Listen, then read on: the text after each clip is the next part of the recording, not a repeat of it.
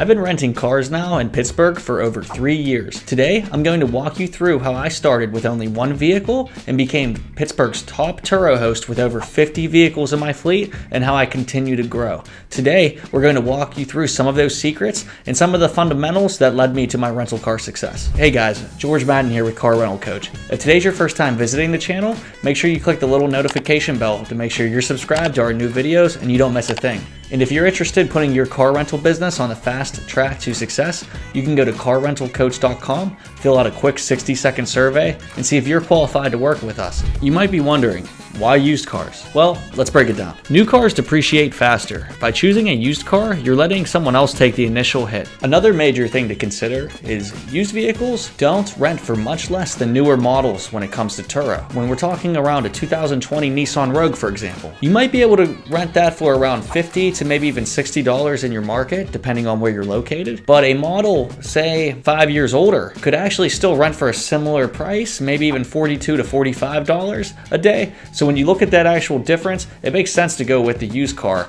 that you're getting for a much steeper discount in pricing. Plus, you already have the depreciation of the vehicle factored in at purchase, saving you even more money when you go to resell the vehicle. Because a lot of Turo hosts only think about buying the vehicle at first, but they don't think about the time when it comes to sell the vehicle, and that leaves them losing on their investment. Now, the second secret to success is financing your vehicles correctly. I do not recommend taking out expensive auto loans to rent your vehicles on Turo and prefer to buy my vehicles either through cash or low interest financing. So, for example, one effective strategy that some of our clients have used and I've used myself is to get interest free credit cards. So, some credit cards you can actually go for an interest free period for up to 15 months. And I've actually received personally $45,000 worth of credit in this way that I was used to expand my fleet. I was able to pay off the credit cards before interest came due. If you can, I recommend saving up $10,000 in cash for your first car. That would be able to usually fetch you some decent economy car that will do well on Turo.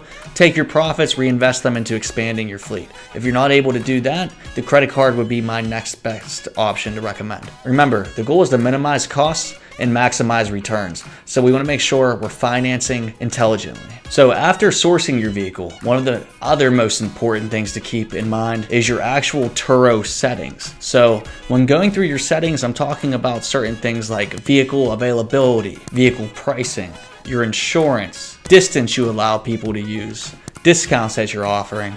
So I'm going to walk you through what I think the optimal settings are and what has increased my bookings the most and led to the maximum of my return on Turo with my investment. Step one is daily price management. So there's two different structures with pricing on Turo. One is called dynamic pricing and one is called custom pricing. So I believe the best thing to do is to adjust your prices every day depending on your demand and where you're at. For cars that aren't rented, consider lowering the price for a few dollars for a few days. This can significantly increase the chance of them being booked. And for cars that have been renting without an issue, try raising your price a few bucks every day and see how the market responds. What's nice about Turo is you'll be able to get direct feedback and figure out pricing very fast. All right, second, let's talk about availability with your vehicle and what's going to make sure your car is booked. So let's talk about booking availability. My recommendation, set your vehicle to book instantly with a one hour notice. This approach makes your listing more attractive to spontaneous renters and ensures higher utilization of your vehicle. Think about it. A lot of the people that rent my vehicles rent them because their car's in the shop, and that's something usually people don't plan on. Uh, if your car breaks down spontaneously,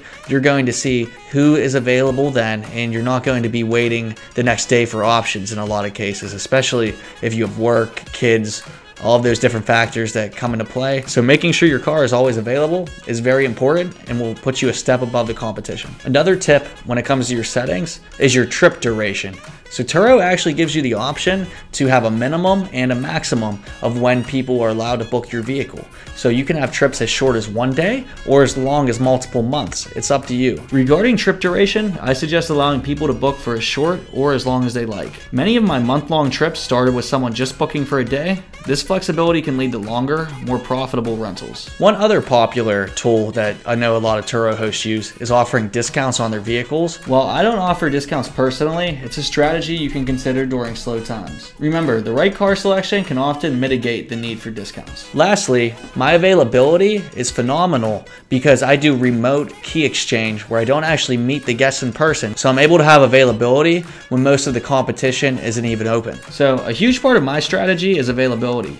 I use lockboxes for remote key exchanges. This allows for longer operating hours than most traditional rental car companies, giving me a competitive edge and also allowing me to have more passive income so I don't actually have to meet the guests in person and I'm able to do the remote handoff from my home or wherever I'm traveling at the time. So there you have it. Those are just a few of the secrets to my success on Turo and how I've been able to build the largest Turo fleet in Pittsburgh. Thank you for your time and as always, make sure to go to carrentalcoach.com, fill out our quick 60 second survey to see if you qualify to work with us and I look forward to talking to you. And if you want to know exactly how we scaled our Turo fleet to over six figures, click on this video right here.